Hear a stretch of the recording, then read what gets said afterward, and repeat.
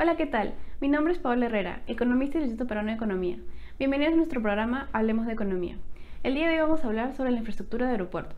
Durante las últimas dos décadas, la infraestructura para el transporte aéreo en el Perú se modernizó a partir de una mayor participación del sector privado. Desde el 2002, la inversión privada en aeropuertos acumula un total de 584 millones de dólares. Al inicio, esas inversiones se concentraron en el Aeropuerto Internacional Jorge Chávez y posteriormente en las concesiones de 17 aeropuertos ubicados en el norte, centro y sur del país. El mejoramiento de pistas, equipamiento y contratación de personal permitió garantizar las condiciones mínimas de seguridad para operar nuevas rutas comerciales y así se dinamizó la conectividad aérea al interior del país. Por ejemplo, solo en el primer grupo de aeropuertos regionales, el tráfico de pasajeros se multiplicó por más de 5 entre el 2007 y 2019.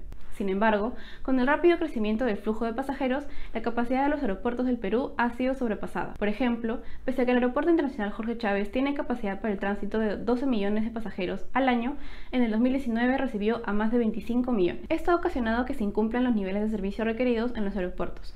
En el 2021, los aeropuertos de Lima, Cajamarca, Tumbes, Chiclayo y Trujillo cumplieron con menos de la mitad de estos requisitos.